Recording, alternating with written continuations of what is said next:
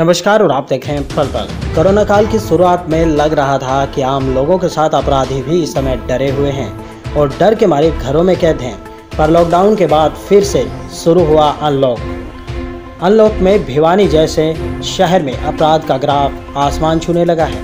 हत्या, लूट और चोरी की वारदातें आए दिन बढ़ती जा रही हैं।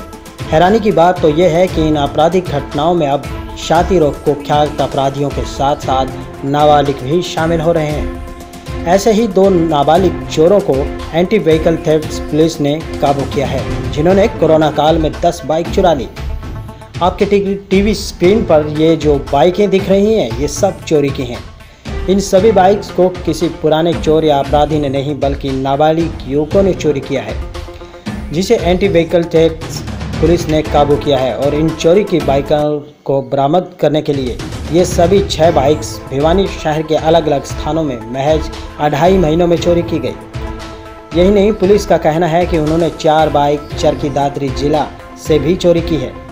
पल पल भिवानी से अमन शर्मा की विशेष रिपोर्ट।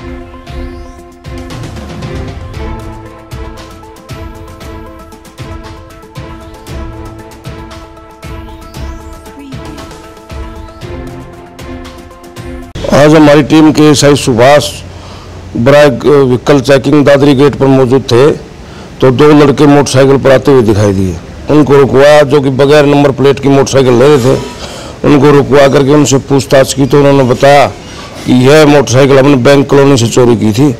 और उनसे घंटा से पूछताछ की तो उन्होंने बताया कि हमने कुल दस बाइकें बरामद चोरी की हैं, जिनमें से छः बाइक हमने बरामद की हैं, और चार उन्होंने दादरी से चोरी कर रखी है। और इनमें से तीन बैंक कॉलोनी से चोरी की है और एक तीन सिट्टी थाना से और एक यहाँ अपना बी टी एम चौकी, कृष्णा कॉलोनी मतलब दिनोद गेट चौकी से कृष्णा कॉलोनी से चोरी की है।